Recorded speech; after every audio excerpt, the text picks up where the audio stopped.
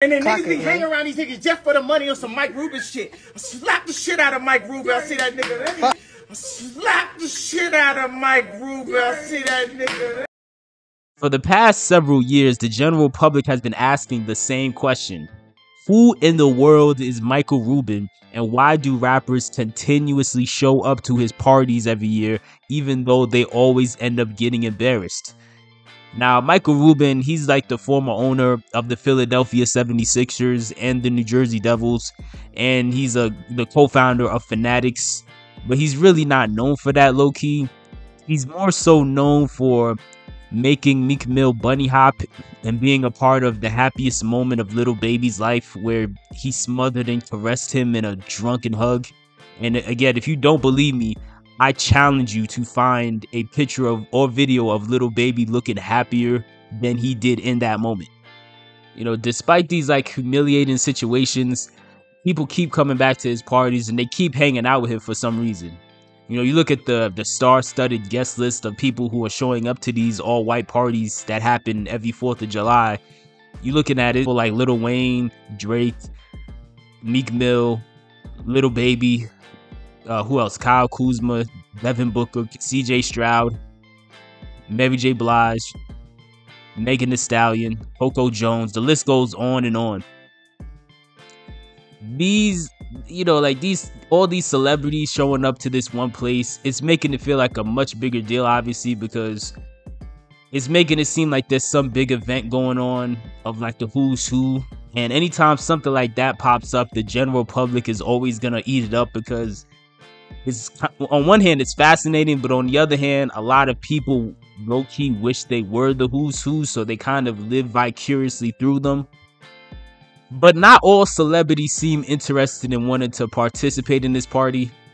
Kanye West notably went on a rant a few months ago going off on people like Mike Rubin and people that hang out with him. And then niggas be hanging around these niggas just for the money or some Mike Rubin shit. Slap the shit out of Mike Rubin. I see that nigga. Also, even Kai Cenat didn't seem interested and wanted to go. There was a clip from a stream with him and Adin Ross where Aiden invited him to come as his plus one and not only did Kai deny going, like he he said he already got invited and turned it down, but even when you look at the video, something about it like it seemed like Kai was holding something back, like something about his his body language seemed a bit off when it got to that conversation. But yo, check this out. Look, this is Michael Rubin's all-white party for July 4th. Would you like to go with me?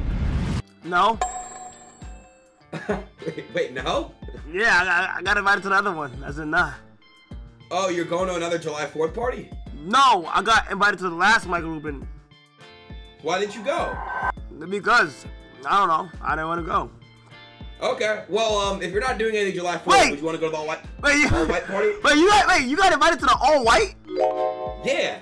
Uh, GG's in the chat. Hey, just keep tag. Make sure you got. Do you want to go with me? No. Come on. Bro, no. July 4th is um. July 4th is when we do fireworks and shit, bro. It's war time. Oh, that is true. That is true. Okay, makes sense. All right, bro. Thank you. Yo, be careful out there. You are safety. Oh, I'm good, man. Don't worry about me. I'm gonna have the time of my life. Let me know how it goes for real. I will. Oh, be careful out there. You are safety. Who knows, right? Either way, he didn't seem interested in going, and he didn't. Regardless of what networking opportunities might be there, but then you gotta wonder what do these artists stand to gain by showing up to these events and playing along with whatever whatever weird you know games this billionaire wants to play? Like one possibility could be millions or maybe who knows billions of dollars behind the scenes could be moving around. Like when a lot of money's on the line a lot of people will look past their differences and coexist in the same environment just for the sake of trying to network with other people.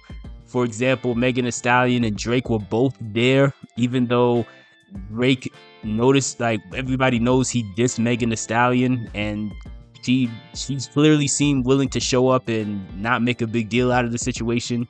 Now, my theory could be that it could be something to the effect of maybe contractors are there that are letting people know, like tipping people off about the new hot spots to move to in different parts of the country and buy real estate or maybe even like the Silicon Valley types that are there that people may want to connect with so they could get on the ground floor of investing in the next big app.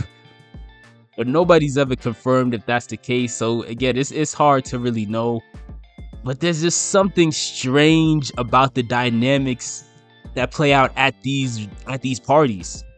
Like whenever you see footage from these parties, these celebrities are always in these like awkward situations that are really just humiliating. But you never see Michael Rubin himself get caught up in a, a, a position that's just as awkward and embarrassing as the celebrities. It always seems like somehow he he's on the winning end of this and he could just sort of sit back and just really just watch and enjoy this play out for his amusement. And these awkward and embarrassing situations, these are these are not just minor hiccups. These are these are situations that seriously harm the reputation of these artists. Like I said earlier, you know, those fi- those viral pictures of Lil Baby getting into you know being sandwiched by those two guys and getting what Michael Rubin called a drunken hug, it made Lil Baby look crazy. Meek Mill bunny hopping makes him look crazy.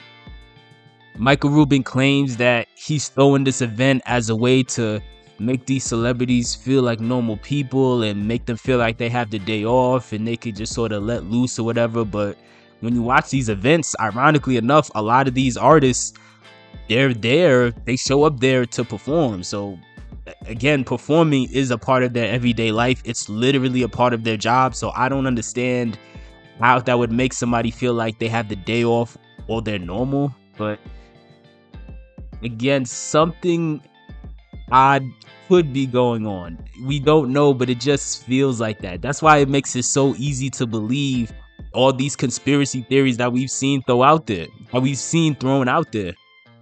It like it almost gives you the vibe of like something that would be written by Jordan Peele. Like it, it almost gives you that sort of get out vibe where you don't know for sure what's wrong here, but it's like you you look into their eyes and something seems off here.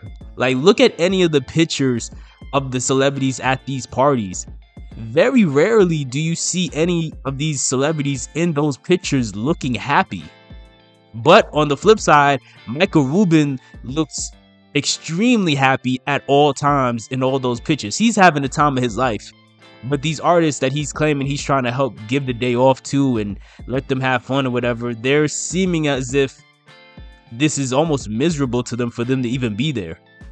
Could it be that they're there just to have fun and have the day off and feel normal or whatever? Or, you know, could it be some sort of pressure or some sort of person pressuring them to show up to these parties?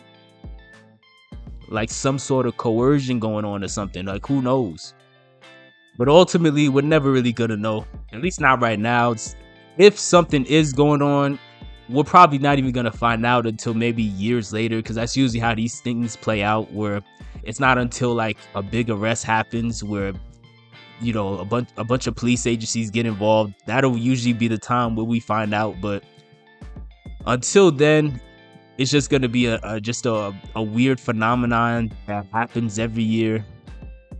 Now it might just be as simple as celebrities have the fear of missing out and they don't want to miss out on a who's who event and they just show up just to so they could be seen because a lot of these people do love attention. Or it could be something a little more nefarious than that but we still don't know for sure let me know what your thoughts are in the comment section below. Make sure you guys like and subscribe. My name is Mfasis, and I will talk to y'all later. Oh yeah. Also the all white party. Oh, yeah. All white party. That was my first time doing that too. That was Okay. motherfucking electric, man. Wow. That was that was unforgettable. Crazy. Unforgettable. Unforgettable, and um, I got a bad memory. That, that right, that was unforgettable, man. I, I saw something. I was like, damn, this where y'all be at. Like this where like the, the, the, the who's who. That's where they was at. And they was just just comfortable, just chilling and the Just party. And I was like, this is dope. That's dope. I love to get to that point where you know I'm throwing a party at the crib, man. Everybody, everybody I'm talking about like Jesus, everybody. Jesus, it was like Jesus was in there with party and talking to him, and Lucifer was kicking it. It was, it was, it was, wild up in there. It was wild up in there, but awesome time.